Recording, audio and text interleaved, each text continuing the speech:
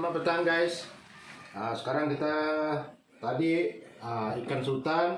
Sekarang kita ada panggang-panggang kepala babi ya. Ini telinga dia.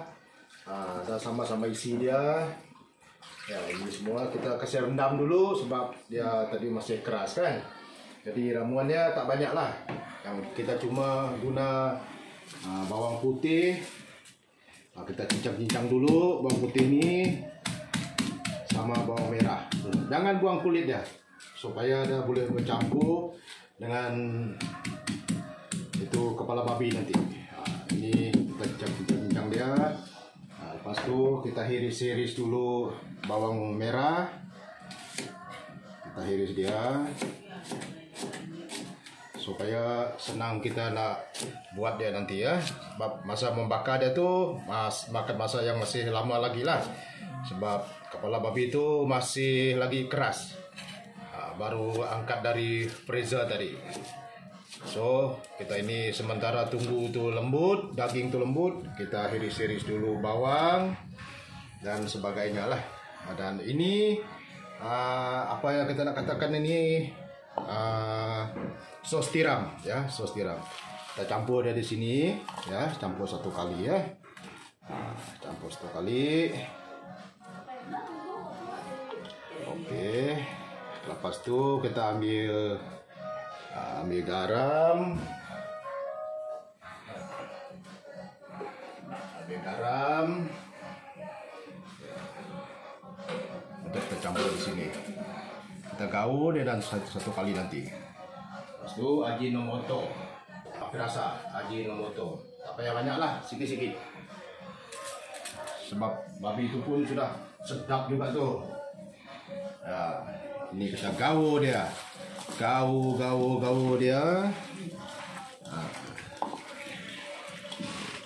Kita gaul dia satu kali dengan tu perasa apa tu tadi?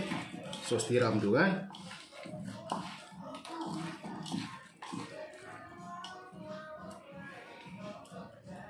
Okey, kita tunggu kejap ya.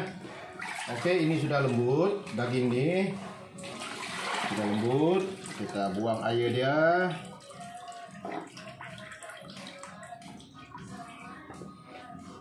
Lepas tu baru kita tuang rempah-rempah dia ini. Ya, ini rempah ratus dia. rempah ratus, rempah ratus ya.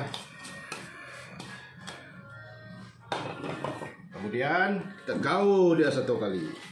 Gaul dia perah, perah, perah dia. Kita biarkan dia dalam masa paling kurang setengah jam lah kalau sebab masa kita ni sudah sempit betul. So kita gaul-gaul dia sampai dia sebati.